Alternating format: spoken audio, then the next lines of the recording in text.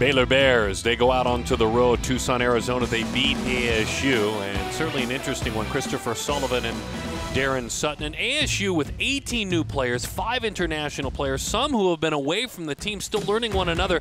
But things were promising in the first half. Yeah, I thought it was a fantastic first 45 minutes. You see Nicole Douglas looking for a, looping volley right there, couldn't execute it, and then Purfield right here with a smacking left foot laser. Uh, not difficult for the keeper. That was after a 60-yard run. Martinez trying to slip one here at the near post. They were dominating the generation of opportunities in the attacking third, but the, the tale of two halves and then a phenomenal wonder strike right here. Julie James, not only for the goal, but for me, the best player on the pitch today. She did everything.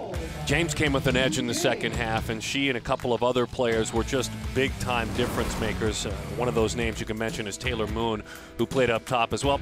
Look, it wasn't like this in the first half. It became like this in the second half. And even shockingly, the tally of fouls, Baylor near the top usually year in and year out uh, uh, in their aggression. So I think just some frustration. You see the corner kicks. In the end, it was a second half domination for Baylor, but very encouraging with so much talented, really ASU stepping forward. 1 0 though, Baylor.